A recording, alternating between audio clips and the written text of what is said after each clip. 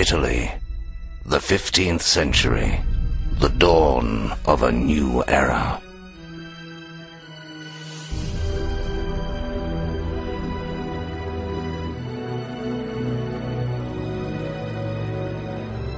Led by enlightened minds like Leonardo da Vinci, the world would witness an unprecedented rebirth of science, art, and knowledge.